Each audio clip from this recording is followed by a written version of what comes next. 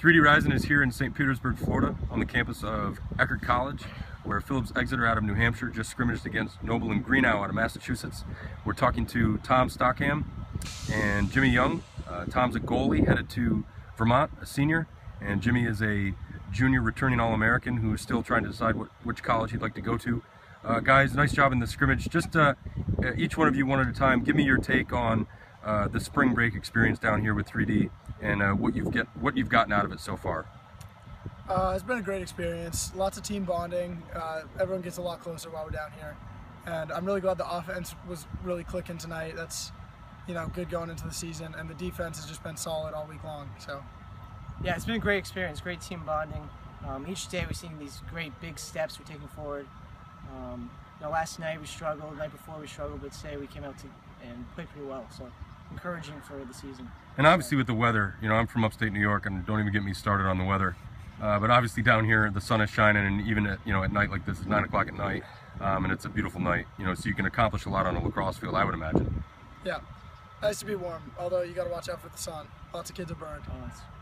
Oh, uh, tell me, I guess, what you guys are trying to accomplish this season. You know, you're you're in two different positions, uh, a goalie and an attackman. But Tom, tell me, you know, what you're looking to get out of the season as a senior goaltender.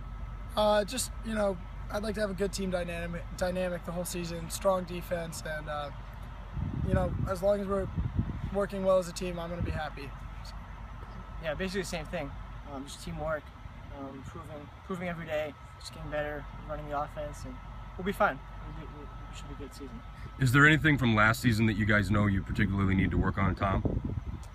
Um, you know, our face-off game struggled a little last season on the wings, um, but I think this year we have two really solid wing guys in Matt Perry and Chris Dumont, um, and hopefully that'll. I mean, already even tonight I saw improvement. So. Absolutely. Yeah, definitely on the offensive side of the ball. Um, uh, we've been moving the ball much better than we have last year, so that's great improvement. Uh, hopefully, keep that up. And share the ball. Uh, Tom is a senior who's you know heading off to Vermont. I guess just talk about you know what what you're excited about.